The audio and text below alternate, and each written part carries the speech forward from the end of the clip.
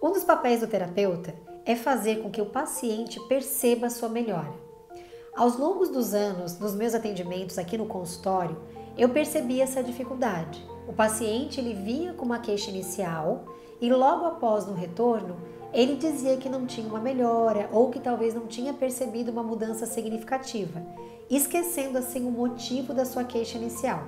Por exemplo, ele vinha com uma reclamação, insônia, e quando voltava no retorno, tinha melhorado da insônia, porém relatava que estava com dor de cabeça, esquecendo da queixa inicial. Com isso, eu percebi a necessidade de desenvolver uma técnica junto com o paciente e essa técnica, eu vou deixar até linkado aqui embaixo, é a técnica dos três motivos para sorrir.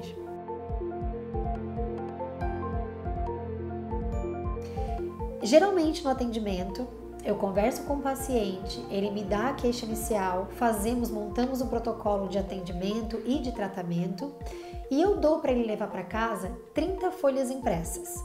Essas folhas contêm três motivos para agradecer número 1, um, número 2 e número 3. Eu sempre aconselho que ele escreva ali três pontos cruciais do dia dele, sendo que nesses 30 dias ele não pode repetir nenhuma vez o motivo de agradecimento dele. Sempre digo para ele começar do micro para ir para o macro. Geralmente a gente agradece coisas muito abstratas. É, a natureza, o ar, a família, que são coisas importantes, porém são coisas muito abstratas. Então eu sempre aconselho que comece do micro. Por exemplo, acordei, coloquei os pés no chão, me alimentei, conheci alguém legal, fiz alguma coisa diferente no trabalho, dei bom dia para alguém que eu não conhecia. Então a gente vai começando do micro e aí sim migrando para o macro. Então, nesses 30 dias, eu peço para que não seja repetido nenhum motivo dele agradecer. Com isso, eu estou exercitando no paciente a escrita, o agradecimento, que é muito importante, mas eu estou trazendo ele para a presença, para o foco do dia a dia dele. Ele vai sentar no final do dia e ele vai refletir sobre o que aconteceu no dia dele e sobre o que, que ele vai ter que agradecer. Além dessas três escritas, embaixo eu sempre coloco algumas alternativas para ele estar tá assinalando. Por exemplo, o dia estava bonito? Se estava no olhar dele, ele assinala com um X. Se não estava, ele não assinala.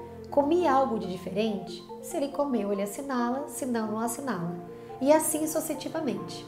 Eu obtive resultados, venho obtendo resultados bem significativos, porque ao trazer esse exercício no retorno, esse exercício é dele, é particular do paciente, mas ele traz no retorno e a gente discorre como foi o mês dele, os dias que ele se sentiu melhor, os dias que ele não estava tão legal, o que, que aconteceu naquele período.